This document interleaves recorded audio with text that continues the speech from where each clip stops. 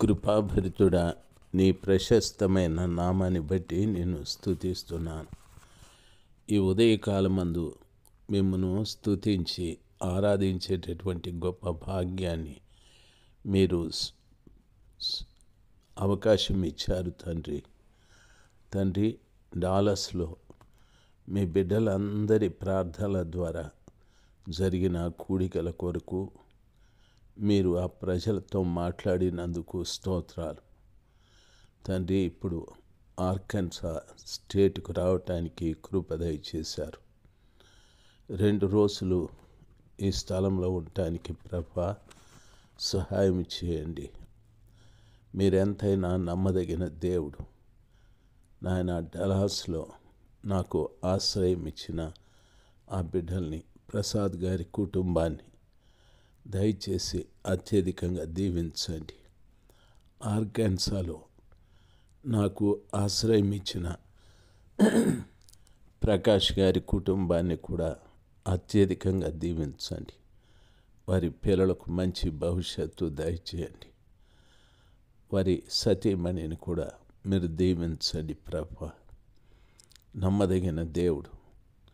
జరిగే కూడికల పైన మీ కృప ఉంచి నడిపించండి. అద్భుతాలు ఆశ్చర్యాలు చేసే దేవుడు. మీరే మహిమ పొందుకొనమని. యేసు ప్రభుల వారి నామంలో ప్రార్థించి వేడుకుంటున్నాను. పరలోకపు తండ్రి. ఆమెన్. ఆమెన్. ఆగస్టు మాసం పదవ తారీఖు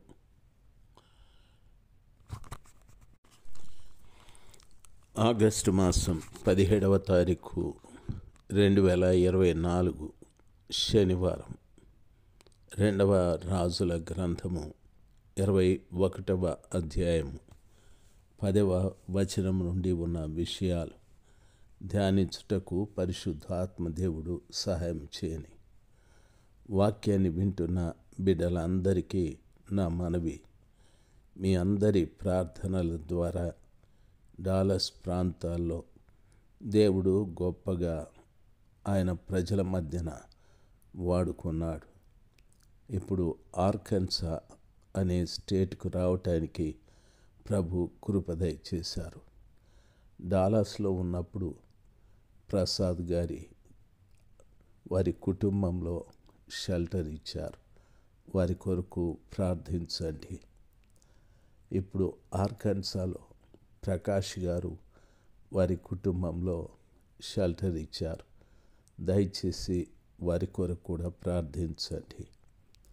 దేవుని మహాకృప వాక్యం విన్న ప్రతి బిడ్డలో కూడా వాక్యము నాటబడేటట్టుగా దయచేసి ప్రార్థించండి. ఈ రోజు నుండి ప్రారంభమయ్యే ఈ ఆర్కెన్సాలో కూడికల కొరకు దయచేసి ప్రార్థించాలని ప్రభు నామాన మీకు మనవి చేసుకుంటూ ఉన్నాను. ఈ కూడికలు ఏర్పాటు చేసినటువంటి ఆ రమేష్ గారి కొరకు ప్రసాద్ గారి కొరకు వసంత్ గారి కొరకు ప్రత్యేకంగా ప్రార్థించండి. వారి కుటుంబాలను దేవుడు అత్యధికంగా దీవించేటట్టు. దేవుని వాక్యం సెలవిస్తుంది పదవచనం కాగా యహోవా తన సేవకులైన ప్రవక్తల ద్వారా ఇలాగూ సెలవిచ్చాడు. యోధా రాసిన మనుష్యే ఈ హేయమైన కార్యములను చేసి తనకు ముందున్న అమోరీయులను మించిన చెడుతనము కనపరిచాడు. తాను పెట్టుకొనిన విగ్రహముల వలన యోధావారు పాపము చేటుకు కారకుడయ్యాడు. కావున ఇజ్రాయేలీయుల దేవుడైన యహోవా సెలవిచ్చున్నది ఏమిటంటే వినువాని రెండు చెవులు గింగురు మనునంత కీడు. ఎరుషలేము మీదికి యోధావారి మీదికి రప్పించుచు నేను షోమ్రోను కొలిచిన నూలును అహాబు కుటుంబీకులను సరిచూచిన మట్టపు గుండును ఎరుషలేము మీద సాగలాగుదును. ఒకడు పల్లెమును తుడుచున్నప్పుడు దాని బోర్లించి తుడుచున్నట్లు నేను ఎర్ష్లేమును తుడిచి వేసేదను అని చెప్పాడు. ప్రియులారా గమనించాలి. మనషే రాజుగా వచ్చిన తరువాత ఆయన చేసిన పనులు చాలా ఘోరమైనవి. దేవుని వాక్యంలో సెలవిచ్చిన రీతిగా యహోవా సేవకులైన ప్రవక్తల ద్వారా ఎన్ని హెచ్చరించినా మనషే మాత్రం హేయమైన కార్యాలు చేశాడు. తన ముందున్నటువంటి అమోరియుల కంటే మించిన చెడుతనము కనపరిచాడు. ఆయన పెట్టుకొనిన విగ్రహముల వలన యోధావారు పాపం చేటుకు కారకుడయ్యాడు. కావున ఇస్రాయేలీయుల దేవుడైన యహోవా సెలవిచ్చేది ఏమిటంటే వినువారి రెండు చెవులు గింగురమనేటట్లుగా కీడు ఎరుషులేం మీదికి నేను రప్పిస్తాను. యోధావారికి మీదికిని రప్పిస్తాను. నేను షోమ్రోను కొలిచిన నూలును అహాబు కుటుంబీకులను కూడా సరిచూచిన మట్టపు గుండును ఎరుషులేము మీద సాగలాగుతును అని అంటాడు. దేవుని కృప షోమ్రోని మీద కొలనూలును అహాబు కుటుంబం మీద మట్టపు గుండును పెట్టి సరిచూస్తాను అని చెప్పాడు. ప్రియులరా గమనించాలి. ఈ మాటలు మనం అర్థం చేసుకోవాలి. వాక్యంలో సెలవిచ్చిన రీతిగా ఆయన కొలిచిన నూలును అని అంటాడు. ఒక విషయాన్ని గమనిస్తాం. ప్రియులార దేవుని పిల్లలు ఒక కట్టడాన్ని కట్టేటప్పుడు ఆ కట్టడాన్ని కట్టేటటువంటి ఆ మేస్త్రి గారు ఈ చివరి నుండి ఆ చివరి వరకు ఆ రాయి పైన పెట్టడానికి ఒక త్రాడును ఆయన కట్టి ఉంచుకుంటాడు. దాన్ని సరిహద్దుగా పెట్టుకొని ఆ గోడను కడుతూ ఉంటాడు. ప్రభు ప్రభుల వారిప్పుడు ఇప్పుడు షోమ్రోను కొలిచిన నూలును అహాబు కుటుంబీకులను సరిచూచిన మట్టపు గుండును ఎరుశ్లేము మీద సాగ లాగుదును అని అంటారు. షోమ్రోను అనగా కావలి గోపురం. ప్రియులరా గమనించాలి. దాని మీద కొలనూలు ఉంది.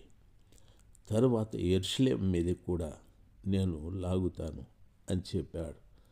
అనగా దేవుని యొక్క కొలతకు దేవుని యొక్క ఆ నిటారైన త్రాడుకు సరిగా వారు లేరు. వారు అటు ఇటు ఉన్నారు. దేవుడు అందుకే మనష్య ఇంటి వారిని మట్టపు గుండుతో నేను సరిచేస్తాను అని చెప్పాడు. అహాబు కుటుంబీకులను సరిచూసిన మట్టపు గుండును ఎరుషులేముకు సాగలాగుతును అని అంటాడు. మట్టపు గుండు గోడ కడుతూ కడుతూ ఉన్నప్పుడు అప్పుడప్పుడు గోడ కట్టే ఆయన గోడ ఒక లెవెల్గా ఉందా లేదా? అని మట్టపు గుండు పెట్టి చూస్తూ ఉంటాడు. వింటున్న దైవ జనాంగమ? ఈరోజున ప్రభుల వారు మన మీదికి త్రాడు లాగితే మనము నిజంగానే సరైన రీతిగా కట్టబడుతున్నామా? మనల్ని ఆ యొక్క మట్టపు గుండుతో సరిచేస్తే మనము సరైన రీతిగానే నిర్మాణమై ఉంటున్నామా? దేవుని పిల్లలు బాగా గమనించాలి. ఆ సర్వశక్తిమంతుడైన దేవుని పిల్లలుగా మనం ఎప్పుడు కూడా అమోరీయులు అమ్మోనీయులు లేక ఫిలిస్తీన్లు ఇలాగా అనే జనాంగము ఆచరించినటువంటి పద్ధతులను మనము ఆచరించకూడదు.